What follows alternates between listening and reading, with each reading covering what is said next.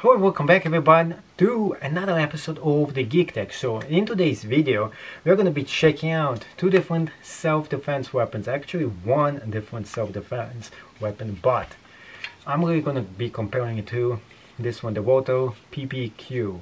This is a really a good one that I have tested out and I really actually like it.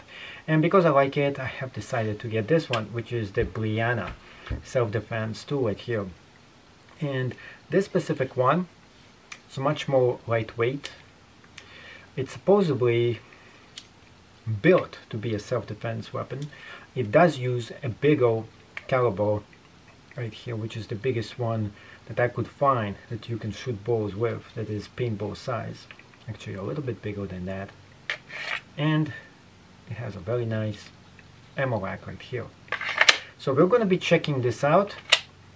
We're going to be looking at this doing the unboxing and of course you're gonna be really knowing at the end of the video what is the rating that I'm gonna be giving for this gun and if I recommend it for you to be using it for your own self-defense needs. Let's get started right now. So this is the unboxing video of the Bo Urina, weird name. Inside here there's actually an extra packet here with a silica gel then we have this sticker instructions booklet for you to read. And this one is all in English. We have a card for us to use. And it says not a firearm under federal law I don't know why this is necessary. And it says TSA approved. So inside we have the following. And you have different kits. The one I got has the kinetic. It got another kinetic because that's the only thing that's legal in the state and in inert powder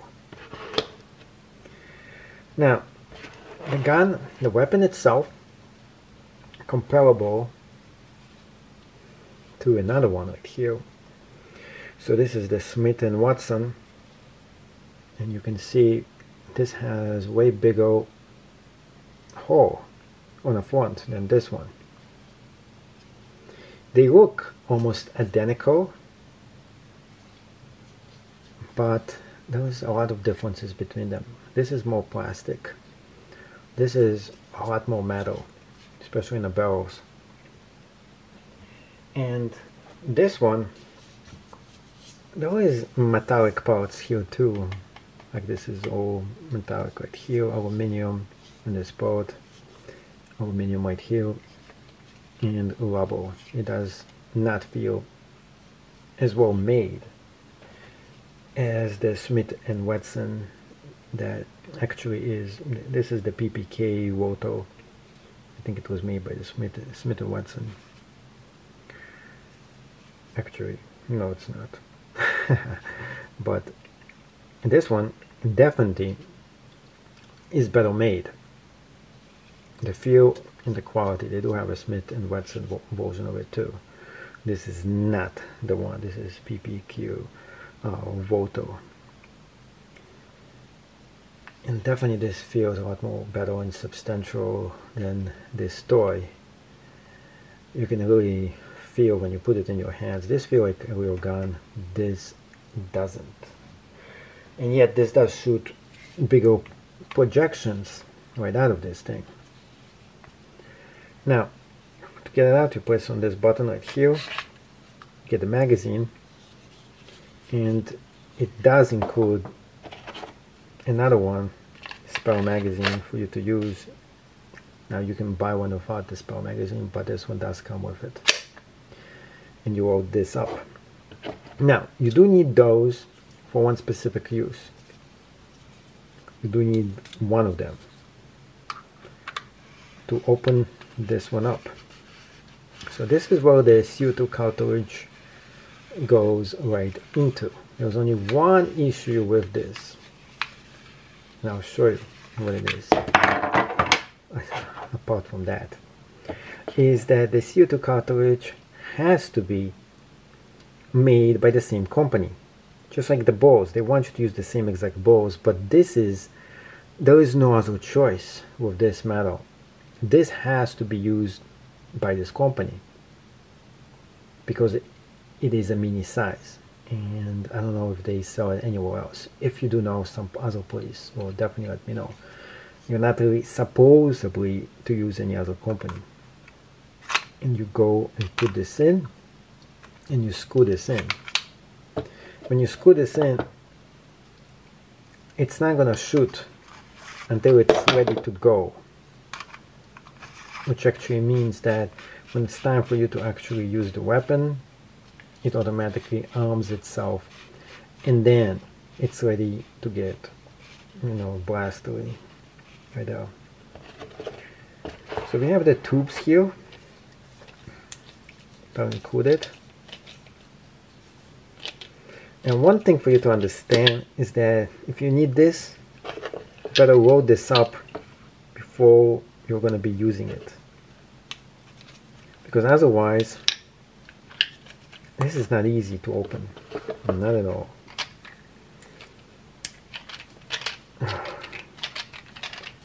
There we go. This is the kinetic version. Unfortunately, in my state, I can't have the pepper balls. So put them in, roll them up like this, right in here. And those things, you can actually put a different one in here too and we're going to be testing this out as well.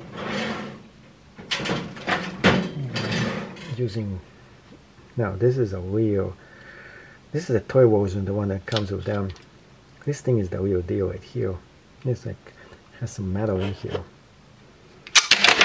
Oh.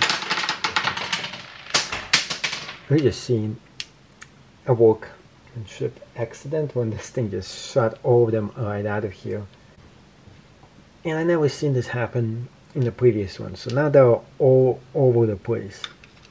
So be really careful with that. So the last one is going to be the blaster really the, the bad one. The three one of those are going to be the regular ones. And the thing is it's so easy for this to malfunction that it automatically just shoots them right out of here. And that is something I didn't realize until I got this. And I'm not sure how well this material is going to stand the test of time. So it's something for you to keep really in mind when you're buying this, how easily, if you press on this, it's just going to shoot this thing right out of here. Fire position. Thing is, this thing is very inaccurate.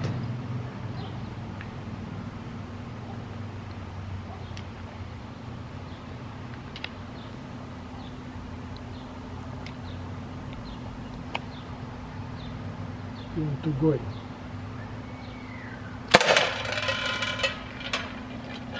Let's check it out. Oh, I guess it is accurate. Hit it in. And wow. See that? Impact. Going all the way into the metal. That's how it works. It says, is it on fire? fire? You on fire? On fire. Of fire.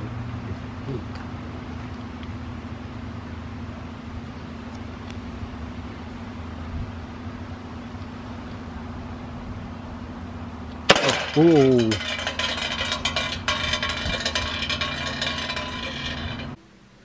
So my honest opinion of this is that, well, first of all, those balls are a little bit too lightweight. And if you can substitute for some heavy weight and metal inside of it, it does do a better job. It's not really made for those balls, but it still works for them. The actual weapon itself is pretty lightweight. I don't like how this doesn't go all the way in by itself um, it's easy to get it to work. With the safety and the fire over here. The magazine is on the cheap end. This thing right here I think could much easy break. So thank you so much for getting all the way to the end of this video and hopefully I earned a subscription from you and if even if I didn't well let me know what you think by smashing the thumbs up if you did enjoy the video. Now this gun I do like it for the reason why I like this thing is that it is lightweight. Unlike this one which is pretty much more heavy more substantial. That's one thing I do like about it. It is less metal in here which is good in some ways. The good thing is by this not being metallic is that it actually is more lightweight. That's about it. Now this one right here it got less moving parts. It's built like a firearm and I think it's less likely that it's going to be over time broken by actual use. But on the other hand the Byrna HQ it's made out of a hundred different precision parts so if anything goes wrong over here I don't think you're gonna have two different uh, possibilities for you to repair this all by yourself. You actually need a specialist for you to send this to which is sending it back to the company itself. That's one of the issues. Apart from being a little bit more cheap, I do think that if this was for 150, that, that would be a good gun. But 300 bucks, it is really a stretch getting this for yourself when you can get so much better self-defense weapons than this one here. Overall I do think if you like this it's a good gun but I think there is better options that are much more cheaper. So unfortunately I have to give this a thumbs down. And specifically why the thumbs down is coming for this one is that they force you to use their own CO2 cartridges and you have to get them and also forcing you to use their own balls specifically. But you can try to use other balls as well but they don't really supposed to let you use that. But when it comes to the CO2 cartridge you have no other choice. You gotta use the same cartridge that they sell. And that's why I ultimately cannot recommend this gun because they keep on not letting third party produce things for it. If this was a CO2 that you can get from anywhere and just use it, this would be the really good handgun that you could actually use for self-defense. And this is not an actual gun. It's more like a BB kind of a... It's not good enough for self-defense. Not good enough, I, I would say. It's better than nothing. Of course, if you have to use something, um, and if this is out of pepper ball, this will make it a pretty substantial weapon. But in states where pepper balls is not legal, well, this doesn't cut it. With the synthetic thing, this thing is just going to bounce off your whoever you're going to be shooting at. And the only one that you really should be getting is the special self-defense balls. And those, I don't know if they're going to be breaking this gun over time, so not really recommended as well. So unfortunately, I have to give this a thumbs down um, out of the stars I would say it's a 6 out of 10 rating and that's what I think of this it's up to you to decide and whatever you think make sure you post right down below in the comments section to tell me if you will be getting something like this or if you're going to be skipping and getting something else instead